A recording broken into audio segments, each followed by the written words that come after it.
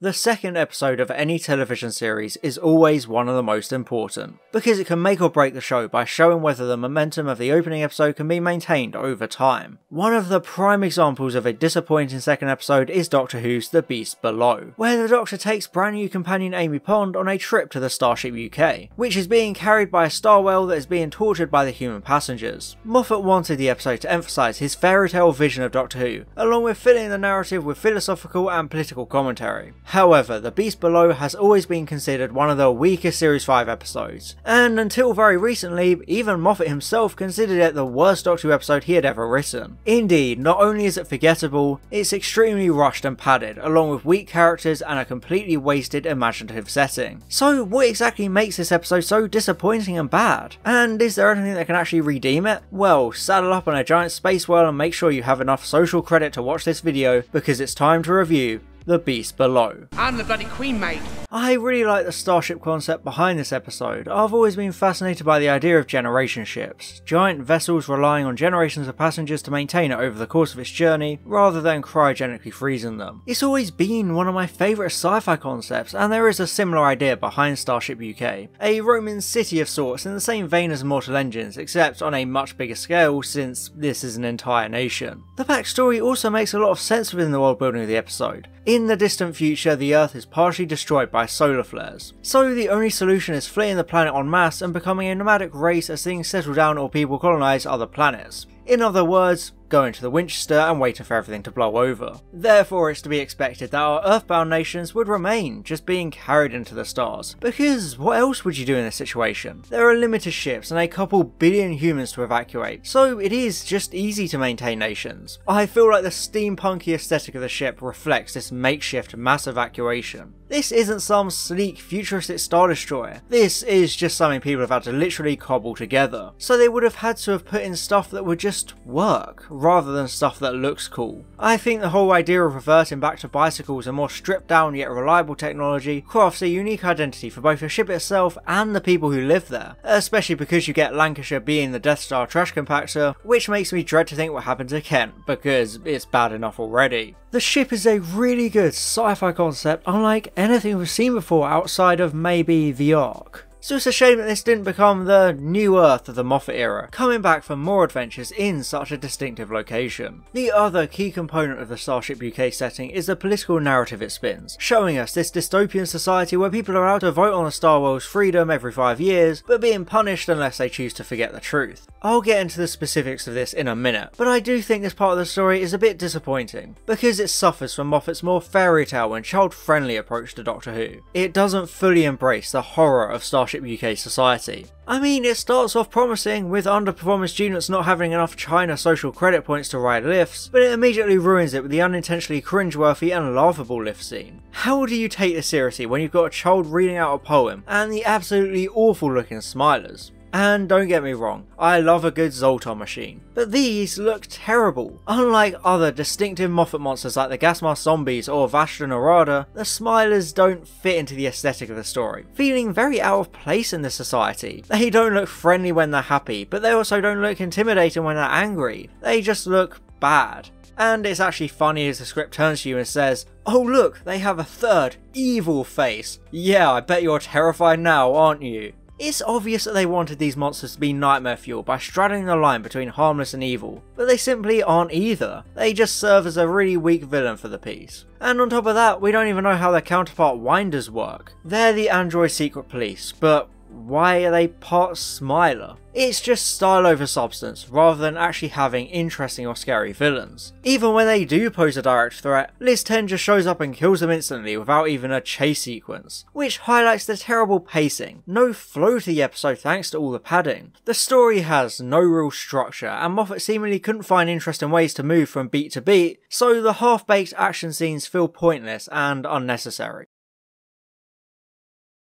The Beast Below is notable for being Amy Pond's first trip in the TARDIS, floating up in space as the Doctor looks up her dress. Now, I appreciate the consistency of her still being in her nightgown because it maintains the tradition of other first outings in New Who, but the line of sight definitely makes this look a bit dodgy. No wonder Amy wanted to bonk him. It is a nice scene though, driving home the spaceship capabilities of the TARDIS. I'll always love these kinds of visuals, seeing the wide expanse of space through those unassuming wooden doors, illustrating the vast possibilities of such an impossible time and space machine. Another significant part of this opening is Moffat driving home the Doctor's supposed non-interference policy. This is a really weird thing to establish, because it feels like Moffat only wrote it to fit the end of the episode, rather than to show an actual element of the Doctor's character. The 11th Doctor doesn't become an incarnation synonymous with non-interference. It's only in The Snowmen much later that he tries to stay out of events. Every other time, he's more than willing to interfere. So what was the point of this, especially as Moffat subverts it literally seconds later. You never interfere in the affairs of other peoples or planets. Unless there's children crying.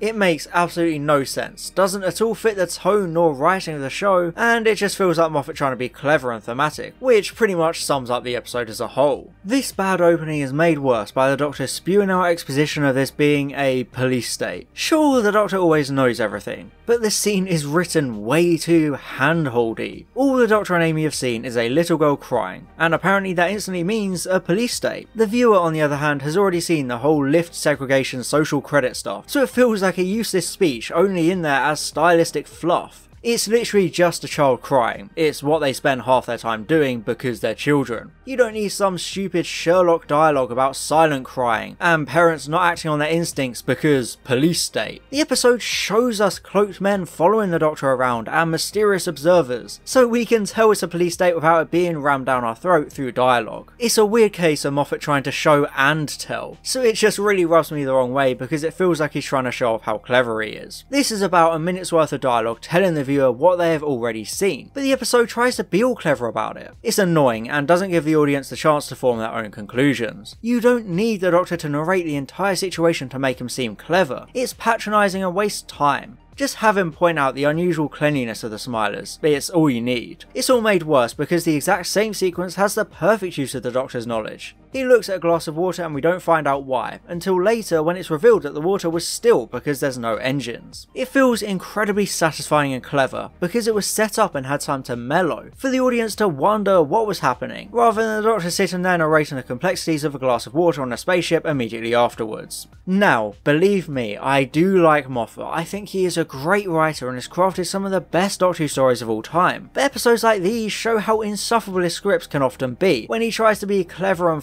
flaunt it, since it actively takes you out of the experience and makes you feel like you have no power as a viewer. And of course, because this is Moffat, we even get a snarky child who knows it all. Yeah, when your friend kept bumping into me. Great, thanks a lot, you really couldn't resist shoehorning that in, could you? At least we get Magpie Electricals, which redeems this hunk of junk just a little bit, since I always like the production easter egg whenever it crops up. But wait, Amy, oh no, you can't continue because... There's a hole, we have to go back. Is that where the actual competent and semi-decent episode went? Pretty sure it fell in the hole. In the meantime, the Doctor meets the mysterious Queen Liz 10. I'm the bloody queen, mate. Get it? She's the Queen, but she speaks like a typical Londoner. Isn't that quirky? Just ignore the fact that she's a figurehead of a dystopian police state. Look at the guns, not her being fine with underperforming children being fed to a whale or becoming slaves. At least they explain that she's just as in the dark as everyone else, having been held in a 10 year cycle of mind wipes that they can keep a charade up, even if she was the one who started this all to begin with. Yes, she's actually 300 years old, and also always chooses to forget the star whale. I find it strange the episode doesn't really explore the true extent of this horrifying Groundhog Day scenario she always finds herself in. She spends most of the time skulking around being paranoid of her own government before repeating it over and over again. It makes her look a bit useless and borderline incompetent as a queen. Liz 10 also brings up another issue I have with the Moffat era. I mentioned in my 11th hour review that I didn't like the hero worship communicated through everyone in Leadworth knowing about the Doctor thanks to Amy's childhood stories. It felt strange because this is the beginning of a brand new era, so it feels redundant because it continues to perpetuate one of the most criticised cornerstones of the Russell T Davies era. And the difference is, that era had actually built the characterisation, but in the Moffat era it goes out of its way to continue it, for basically no reason. Indeed, Liz 10 has been raised on the tales of a mysterious, eccentric stranger swooping in and saving the world throughout time. It does make sense that the Doctor would be a mythical legend, especially because of their run-ins with the royal family, but it just rubs me the wrong way that the first 5 episodes of Series 5 having characters gushing over the Doctor and saying how much they love him. It makes it more irritating than the Davies era ever was when it comes to hero worship, because it's too forced, without that natural slow build up, and it's more blatant and on the nose than ever. And also there's nowhere else for me to talk about this line, but we see the return of the Planet of the Dead line almost verbatim. You look human. No, you look Time Lord. Hmm, I'm still not sure if I get it. Maybe I need another 200 identical comments explaining it to me. Speaking of characters, Amy is surprisingly blank in this episode, which is strange because Moffat wrote it intending for her to save the day and prove herself worthy of being a full-time TARDIS traveller. However, it feels like any other companion could have been put in her place and it wouldn't make a difference, which feels shocking for the first proper adventure of a brand new companion. Obviously, Karen Gillan does well with the poor script she was given, but Amy really doesn't have much of a presence. She's just there to receive exposition after exposition because she doesn't yet know the Doctor as well as the audience does. And even this is massively inconsistent, since she seemingly already knows him well enough to make this big decision revolving around his age and kind nature. Remember, this is her first adventure, only maybe an hour after first stepping into the TARDIS. She barely knows him, so having this sudden wealth of knowledge makes the episode feel out of order with the rest of the series. The weird character dynamic extends to Amy being vilified for trying to protect the Doctor from being put in the impossible position of choosing between the entire colony ship and the last star whale in existence. She has only just started travelling with him. She doesn't yet know what he's been through with the genocide he's committed, so obviously she wouldn't be able to comprehend the importance of her decision. Yet the story actively makes her appear to be a bad person for this, which in my opinion feels counterproductive. However, I do like the scene as Amy finds out the history of Starship UK, even if someone in the production team can differentiate between 6 and 8. Age 1306. You know, between this and Rory's ID being issued in 1990, I'm starting to think they had a toddler in the production team dealing with all the numbers. Anyway, the scene is quite chilling, serving as a horrific example of the ignorance of pseudo-democracy. People are given the choice to forget what they see or do something about it, and they always choose ignorance. They're happy to accept the totalitarian state because it keeps them alive. They know about the Star Whale, but they always choose to forget so they can actually live with themselves for doing this. Which mirrors the reality of people overlooking atrocities because they don't want to feel responsible about doing anything to stop it. The voting isn't actually a choice, it's the illusion of one. It just allows for people to feel like they have a choice, when they're actually just given the state permission to continue. It's dark and chilling, this ultimate dystopian framing about how scared we are of taking responsibility for our own actions and would willingly forget under the pretense that we would ever choose otherwise. It's a window into our own world, but that also brings up one of my major criticisms of the episode. It feels like a scrapped Russell T Davies story. Now, I know I always get accused of being a Davies fanboy, but it's undeniable that he has always excelled with these biasing political commentaries, never shy of making massive statements. I can't help but feel like he would have been the better writer to convey the commentary of this narrative. It feels like Moffat was scared to commit at some moments, but too on the nose at other times, with actors awkwardly delivering lines like, And once every five years, everyone chooses to forget what they've learned. Democracy in action. I love the exploration of the illusion of choice, but the episode definitely messes it up, especially because it ends with the Doctor happily allowing this police state to presumably continue killing dissenters. But hey, they're no longer torturing the animals, so it's all happy happy. Just ignore the authoritarian government that still maintains power through fear and oppression. It's actually quite funny, Moffat accidentally contradicting his own political commentary. Whoops, so much for this. We're bringing down the government. This government takes the Doctor, Amy and the Queen down to the Star Whale's torture chamber, where he gets really angry at humanity. This scene is actually quite reminiscent of Planet of the Ood, even down to the sounds of suffering that regular people can't hear. It's poignant, confronting the viewer with such a horrific reminder of our own treatment of animals, forcing them to do our bidding even if they actually want to. And because of this emotional morality, the Doctor gets very angry at Amy for basically no reason. I don't even remember doing it. You did it, that's what counts. I find this moment very uncharacteristic. I don't even know if it's supposed to be, because he doesn't really get punished for being a dick. I understand he would be absolutely sickened by what he has discovered and hate the human race for it, but it's nothing new. As I said, Planet of the Ood, big alien brain being tortured and the Ood forced into slavery. He didn't try and kick Donna out of the TARDIS then, so why would he kick Amy out when she was forced to make an impossible decision on her literal first outing? What was she expected to do? She didn't decide for him. She was overwhelmed with something she didn't know how to handle. So him blaming her just feels wrong, and he doesn't even get called out on it, since the episode leaves it to Amy to seemingly redeem herself. However, I do like the idea that he's in such an impossible position that he won't even call himself the Doctor after this story, really selling you on the weight of such a decision, because it's that severe and significant. And luckily for the Doctor, there's the power of children. Since Amy has a convenient flashback realising that Star Whale saving the planet was because it didn't want children to cry. How unbelievably Moffat of it. Yes, this entire crisis is averted because Amy remembers it doesn't eat children, so somehow that proves it's good, even though it eats adults. Because this all doesn't feel cheap and pretentious at all, It came because it couldn't stand to watch your children cry. Indeed, luckily for everyone, Amy is right, and she even gives this insufferably poetic Moffat speech culminating in this painfully forced line. If you were that old and that kind, and the very last of your kind. Get it? It's like the Doctor! I really don't like this ending. The narrative seemingly abandons its themes all of a sudden, and the ending just happens. Again, it's the typical Moffat approach of style over substance. It's the same as it ever was, people talking a lot without saying anything. This ending is meant to be some grand, heroic moment of defiance, but it feels hollow and rushed forming a very unsatisfying conclusion to a story that was trying to be really stark and illuminating with its political themes. It just gives up by introducing a magical, cop out fourth way. Very old and very kind, and the very, very last. Sound a bit familiar?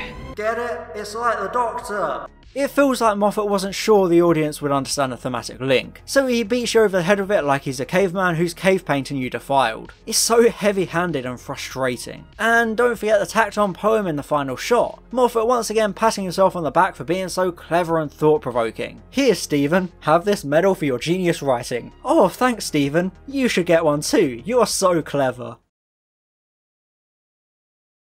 Funnily enough, I was originally considering making this video a Defending the Despised, since I remembered The Beast Below being underrated and unfairly hated. However, rewatching it now was a horrible experience. It felt like an absolute chore to sit through. It's full of Moffat trying to be clever and show off at the expense of the narrative itself. There's a lot of patronising dialogue as the script tries to be Sherlock in space, but instead of being clever, it just walks you through things you already know. The pacing is dreadful, feeling really rushed at the end, suddenly wrapping things up whilst leaving a lot of things hanging. It pulls its punches when it comes to action and excitement, so these moments feel wasted and pointless, because it doesn't commit to being a very ponderous, character-oriented episode. The political commentary is brilliant on paper and creates a great framework for the episode, but the details in the actual execution don't do it justice, so it flounders and peters out with a disappointing solution. Even though it isn't, The Beast Below feels like a Davies era episode awkwardly recycled for the Smith era, so it doesn't fit in with the stories around it, one of the only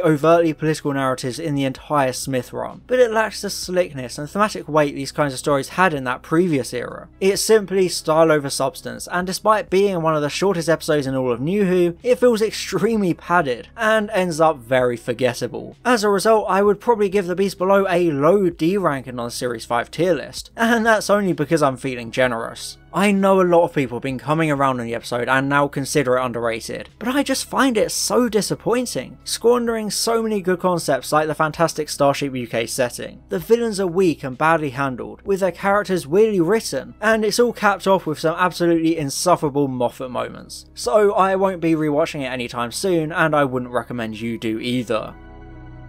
And I'd like to give an extra special thank you to my Platinum level patron Fallon Cortez, and all my Gold level patrons Alex Marston, Calvin, Daniel Shillito, Francois aka Line Vortex, George, Herna Verzog, and Stefan Ever Miller. Thank you so much for your support.